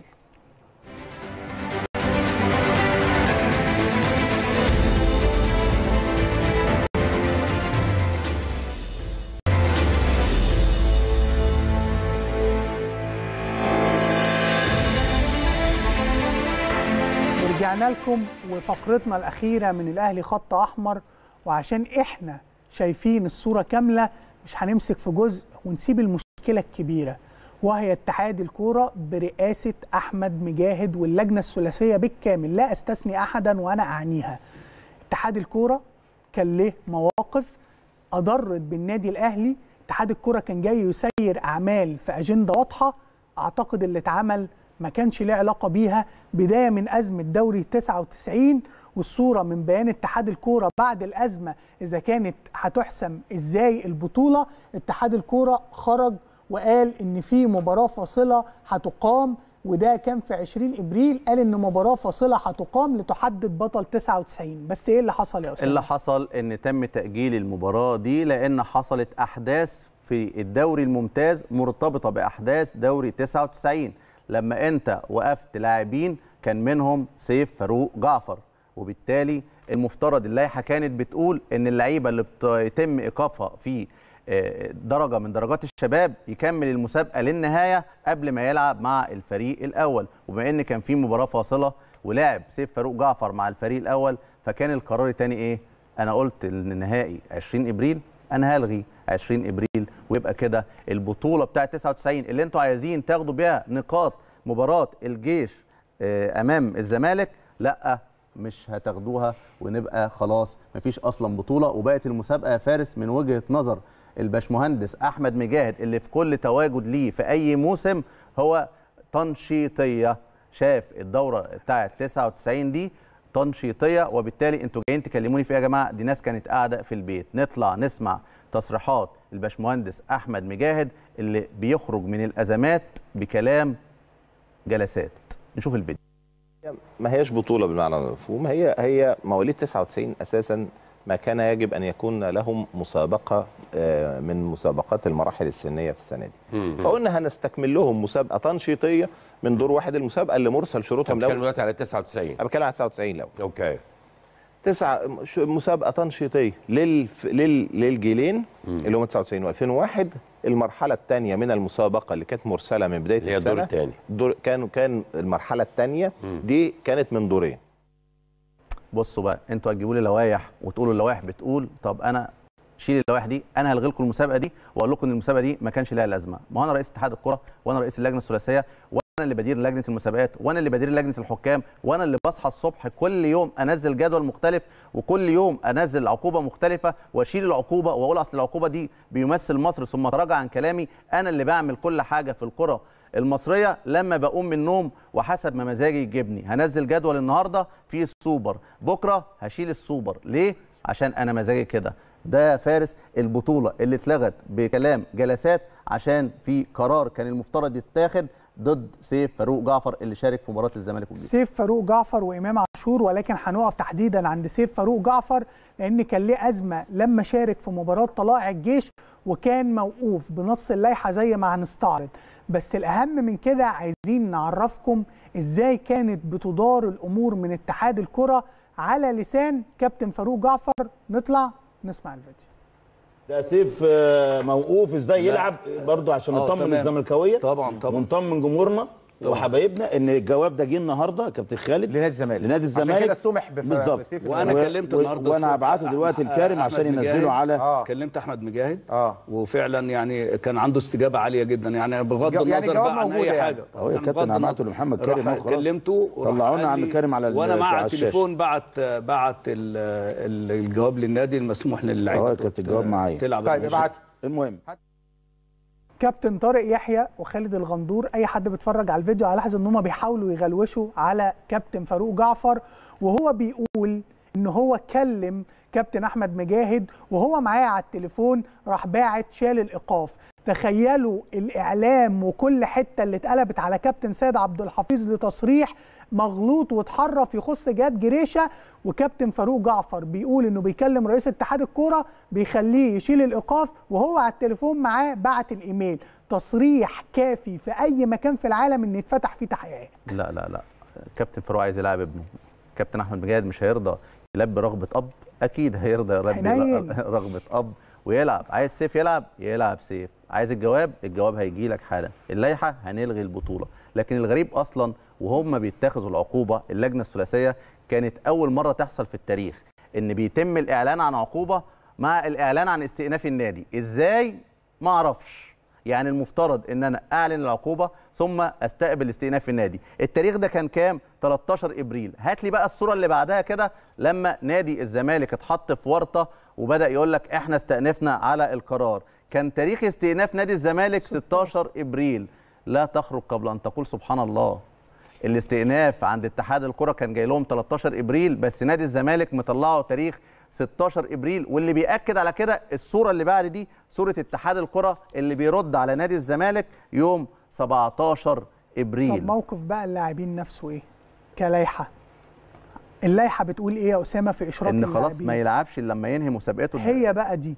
اللاعب الموقوف لمباراة أو أكثر في أي مسابقة للمراحل السنية لبطولات الجمهورية الشباب والناشئين سواء المقيد أو المصعد اليها يطبق عليه الإيقاف في نفس المسابقة الموقوف فيها ولا يحق اللاعب له في أي مسابقة من مسابقات المراحل السنية بطولات الجمهورية ودوري القطاعات إلا بعد انتهاء الإيقاف. هل تمام. هو استكمل مدته بعد انتهاء المسابقة. لا ما أنا لغيت لك المسابقة يا فارس ما هنركز بقى ما تبقاش طيب طول الحلقة. ما تبقاش طيب طول الحلقة. لغيت لك المسابقة فبالتالي ما تجيش تكلمني في لوائح. زي بالظبط لما تيجي تقول لي أنا عايز تحكيم أجنبي هقول لك أنت من حقك فعلا تجيب تحكيم أجنبي. بس لو أنا وافقت إيه اللائحة دي؟ إيه اللائحة دي؟ طب يعني بتديني إيه الحق. بتديني الحق إن أنا أجيب تحكيم أجنبي؟ لو حطيت الفلوس قبل 15 يوم وبعدين بتقول لي ده في حالة موافقة اتحاد الكرة. طب وإحنا بنعمل إيه كده؟ في نظام لازم يتغير طول ما اتحاد الكرة بيدار بهذه الكيفية. بالتأكيد النادي صاحب المنظومة النادي صاحب اللوائح في مصر هيعاني وهو النادي الأهلي. ده كان إدارة لبعض الأزمات لكن إحنا عندنا تصريح واضح جدا جدا. يوضح لنا هي أصلا ليه في كل وجود للباشمهندس أحمد مجاهد في أي موسم 2018 2019 تلاقي فيه صراع وأزمات وفي ضغط على النادي الأهلي. الموسم ده صراع وأزمات وفي ضغط على النادي الأهلي. الفيديو ده يمكن يوضح لكم. طول عمري بخدم الناس وأولهم نادي الزمالك. لا لا عمرك ما خدمت نادي. والله خدمت نادي الزمالك. أقسم بالله. أنا مأيد أحمد لا، علي لا. الساعة 12 الا ربع مساء إيه حصل اللي تجول ليه إيه غلط ليه النادي؟ هيلعب في. أفريقيا. عندك اسمع. عندك مواعيد يا أيام حضرتك فيه. أيام حضرتك. أحمد سمير فرج. حضرتك بعت عشان التوقيعات ما اتعملتش بال 80000 جنيه بتوع القيد أيدناه لحضرتك. اسمع عمر جمال. انت. آخر يوم في قيد أفريقيا عمر جمال. في رسوم 700 وشوية ألف للزمالك. إحنا ما وقفناش القيد عشان الزمالك يلحق يقعد في أفريقيا. ده مش كلام مرسل وتقدروا ترجعوا ليه. أحمد سمير فرج بالفعل اتأيد في مارس اتفتح له فترة قيد خاصة بالباشمهندس أحمد مجاهد في خدمته لنادي الزمالك. بس أنا مبسوط بحتة إن أنا عندي المبدأ واحد وكابتن أحمد مجاهد لا يغير ابدا مبدأه. من أيام رئيس مجلس الإدارة السابق لحد رئيس مجلس إدارة الزمالك الحالي وهو بيخدم نادي الزمالك باعتراف رئيس نادي الزمالك الحالي نطلع ونشوف قال إيه عن خدمات كابتن أحمد مجاهد.